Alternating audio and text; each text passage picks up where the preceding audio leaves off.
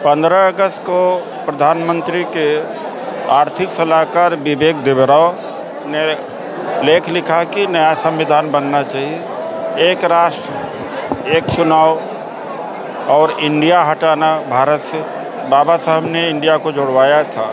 इस पर भी अगर बहुजन समाज, दलित समाज जागृत न हो तो मुर्दा है, मरा है। आगे तो मरना ही है जब संविधान ख़त्म हो जाएगा। मोदी ने अपनी छवि चपकाने के लिए किया है। और जगहों पर भी जी ट्वेंटी का सम्मेलन हुआ और अमीर देशों में वहाँ पाँच छः सौ करोड़ में निपट गया।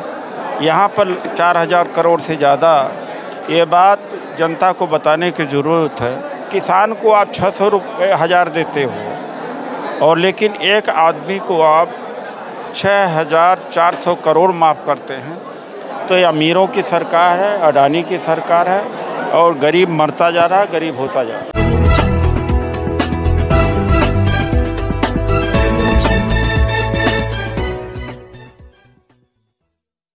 हमले हो रहे क्या कहना चाहेंगे? इसीलिए पाँच नवंबर को बहुजन समाज के द्वारा रैली रामलीला मैदान दिल्ली में किया जा रहा है। पंद्रह अगस्त को प्रधानमंत्री के आर्थिक सलाहकार विवेक देवराव ने लेख लिखा कि नया संविधान बनना चाहिए। एक राष्ट्र, एक चुनाव और इंडिया हटाना भारत से। बाबा साहब ने इंडिया को जुड़वाया था। ये क्या क्या दर्शाता है संविधान खात्मा? इस पर भी अगर बहुजन समाज, दलित समाज जागृत न हो तो मुर्दा है, मरा है। आगे तो मरना ही है जब संविधान ख़त्म हो जाएगा। मैं इसीलिए आज यहाँ पर हरदोई में हज़ारों का सम्मेलन हुआ। यहाँ से हज़ारों लोग पाँच नवंबर को दिल्ली की रामलीला मैदान में जा कर के संविधान को बचाएँगे। जब तक लाखों की पब्लिक इकट्ठा नहीं होगी, सरकार चेते बताने के लिए जनबल दिखाना पड़ेगा।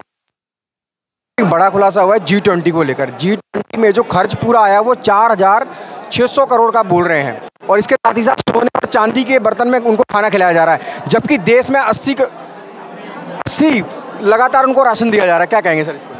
देखिए, ऐसा है कि पाँच किलो राशन क्या होता? है नमक चाहिए, तेल चाहिए, कपड़ा चाहिए वड़ना चाहिए, तेल चाहिए। लेकिन इस गरीब देश में, इस तरह से पानी की तरह मोदी ने अपनी छवि चपकाने के लिए किया है। और जगहों पर भी जी ट्वेंटी का सम्मेलन हुआ और अमीर देशों में वहाँ पाँच छः सौ करोड़ में निपट गया। यहाँ पर चार हज़ार करोड़ से ज़्यादा, ये बात जनता को बताने की ज़रूरत है। ये जी टी का सुभाष चंद्रा, जिसको, जिसका लगभग चौंसठ सौ छः हज़ार चार सौ करोड़ रुपए का लोन माफ़ कर दिया गया। एक किसान को आप छः सौ रुपये हज़ार देते हो और लेकिन एक आदमी को आप छः हज़ार चार सौ करोड़ माफ़ करते हैं।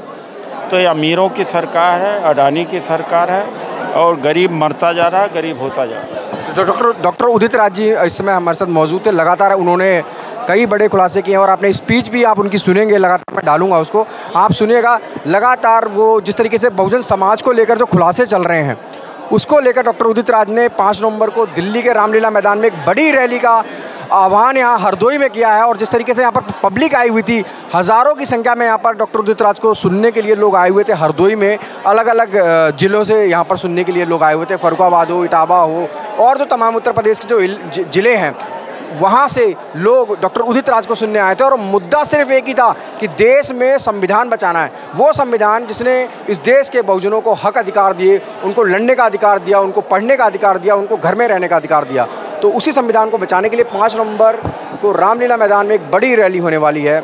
आप बने रहिए मेरे साथ।